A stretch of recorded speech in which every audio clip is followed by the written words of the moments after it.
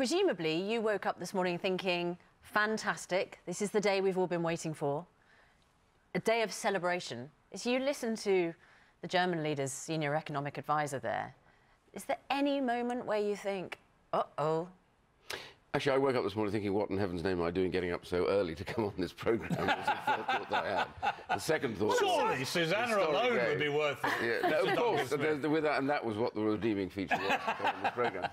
But um, uh, no, I, I, actually I agree with a lot of what has just been said. Um, the reality is, um, Mr. Schäuble, the finance minister in Germany the other day, Pascal Lamy, who no particular great friend of the UK, both have essentially said the same thing, which is, look, the UK is leaving, but the UK is a hugely important trading partner for mm. Germany and other countries.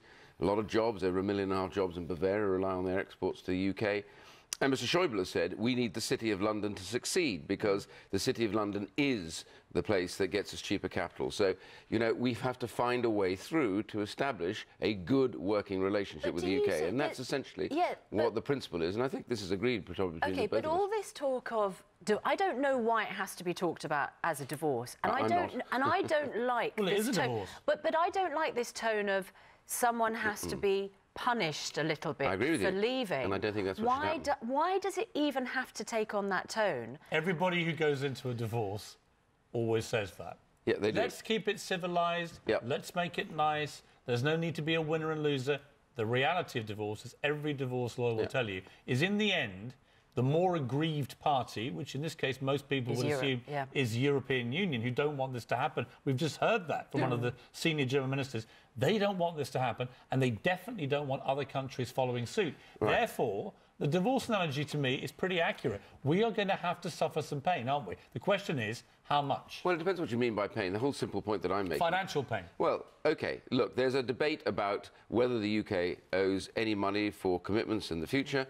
Uh, I actually argue that there is a, an asset issue about what's the value of the assets that we've invested in in the European Union, and how much of that actually is owed to us. So there's a proper debate to be had about that. If we park that on one side for a second, when it comes to the future relationship between the UK and the European Union, this is the more critical discussion because it is not in the European Union's interest to have a damaged trading relationship with the UK mm. for very good reasons.